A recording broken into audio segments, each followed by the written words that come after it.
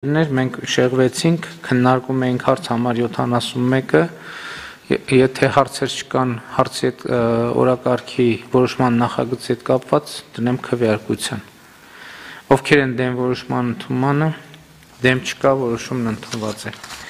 Քննարկում ենք հարց համար 72-ը Մեսրոպ Պապիկյան Մեսրոպ Մեսրոպյանին ներողություն Հայաստանի Հանրապետության Կոտաղիքի մարզպետ նշանակելու մասին։ Զեկուցող տարածքային կառավարման եւ ենթակառուցվածքների նախարար Սուրեն Պապիկյան։ Համեցեք բողոք։ Շնորհակալություն։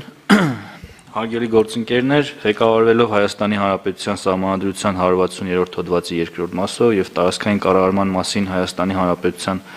օրենքի 6-րդ հոդվածի առաջին մասով Հայաստանի Հանրապետության կառավարությանը առաջարկում է Մեսրոպ Մեսրոպյանին նշանակել Հայաստանի Հանրապետության Կոտայքի մարզպետ։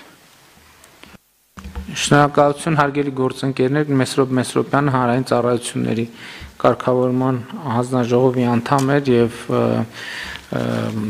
մարզպետ նշանակվելու առաջարկի կապակցությամբ հրաժարական է տվել հանձնաժողովից, պարոն Մեսրոպյան, խնդրեմ երկու բառով ներկայացրեք ձեզ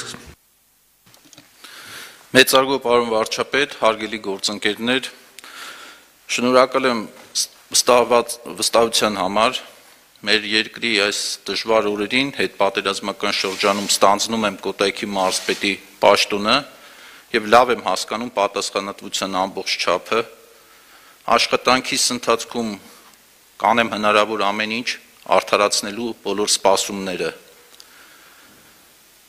խոստանում եմ